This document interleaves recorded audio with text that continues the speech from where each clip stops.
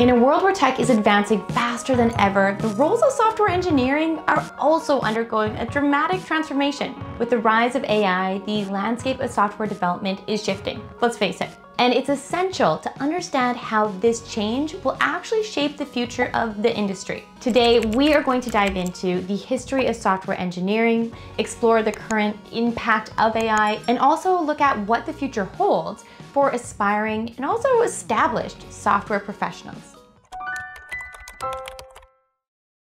All right, but first we need to take a look back with software engineering. To truly grasp the significance of the changes that we are watching, let's take a step back and examine the evolution of software engineering. We talk a lot about how quickly it's moving now, but it's kind of always been moving pretty quickly. This is really interesting. So the roots of this field can actually be traced back to the 1940s, when the first electronic computers were developed. And in those early days, programming was a very highly specialized skill. I know it is today, but even more so back then. It required a deep understanding of very complex machine languages.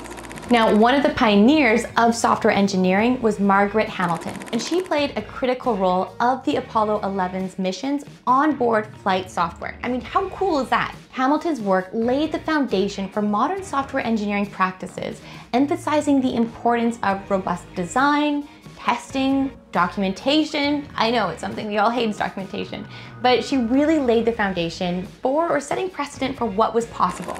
And I think this is such a big moment in history that we need to reflect on because it was at that time that even the public who weren't in the software environment or industry really could see just the impact and the importance of these engineers and how they could impact our future. Now, as the decades passed and the demand for software grew, I mean, exponentially. In the 1980s, the personal computer revolution brought really this whole new era of computing power to the masses. And with it was a surge in software development. Now, it was by the year 2000, the global software market had actually reached a staggering 180 billion, not million, billion, which employed millions of software engineers worldwide. Actually, on that note, I'm curious. If you are a software engineer or someone working in tech, leave down in the comments what year did you get into tech. Don't lie, we're, we're, we're age friendly here. Now, fast forward to the present day, we find ourselves amidst another transformation era, the age of AI.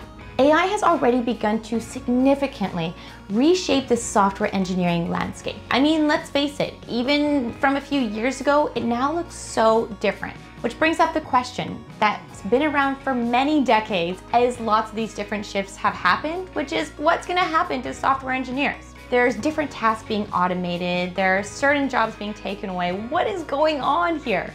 I mean, take for example the rise of code generation tools like GitHub Copilot, which is powered by OpenAI's GPT. I'm sure we're all very familiar with it by now. Copilot came onto the scene and it can automatically generate code snippets based on your input, which significantly reduces the time and effort that's required to write common functions and routines. And this technology is just the tip of the iceberg, hitting the immense potential of what AI can do in software development. So what does that mean though? I mean, despite the advancements in AI, the demand for engineering jobs continues to actually grow at a really impressive rate. According to the US Bureau of Labor Statistics, so depending where you are, but just to give you kind of an overarching sense of things, employment of software developers is projected to grow 22% from 2022 to 2032, which is much faster than the average for all occupations. And this growth is really driven by increasing reliance on technologies across industries. You know, I always say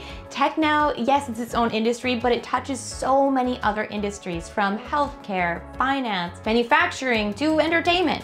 The demand for software engineers with highly special skills is particularly high. Areas such as cybersecurity, cloud computing, and data science are experiencing a shortage for qualified professionals. This is really interesting. So for example, the global cybersecurity workforce shortage is actually expected to reach 3.5 million in unfilled positions by 2025 in the next year. And this is according to Cybersecurity Ventures. So this is a huge opportunity if you are someone who's looking to get into a specific area, maybe change careers, or you're a software developer and want to pivot into a specialty area.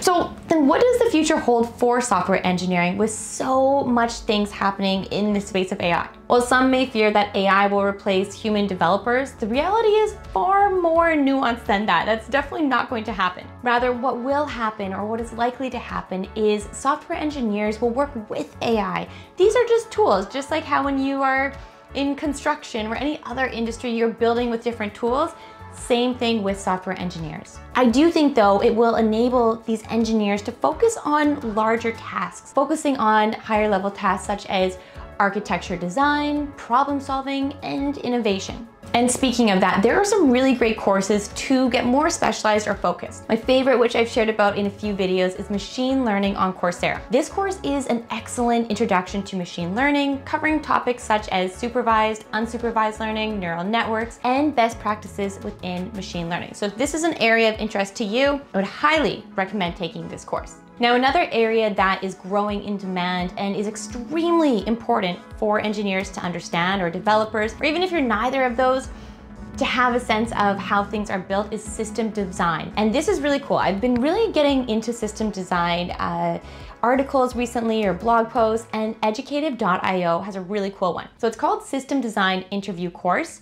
And it's yes, it's designed to help prep you for an interview for system design, but even if that's not the case, I'm not doing an interview in system design. It's super interesting and it breaks things down in a really digestible and easy to understand way. So that's another one I'd recommend. Now, going back to Coursera, Deep Learning Specialization is another great course if you're interested in more of that AI space again.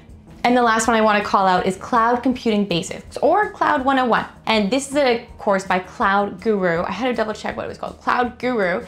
And uh, it really teaches the fundamentals of cloud computing, cloud services, deployment models. So if you are someone who's interested in the cloud, which is another very in demand and growing area, check that course out as well. Okay, so as AI continues to advance, software engineers will need to adapt and acquire new skills quickly. Taking some courses like we just mentioned is a great way to do that. Being proficient in AI frameworks, machine learning algorithms, data analysts, or even data analysis will become increasingly valuable. Now, collaboration between human developers and AI systems will become the norm. So rather than being so against using AI tools or you're too, too cool for it or whatever the case may be, embrace them learn how they work.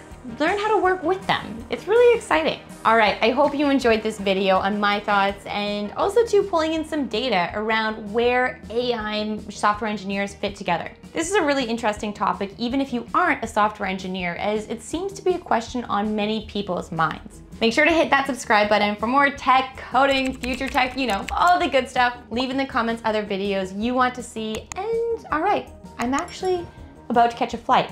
So I'll see you soon. Bye, everyone.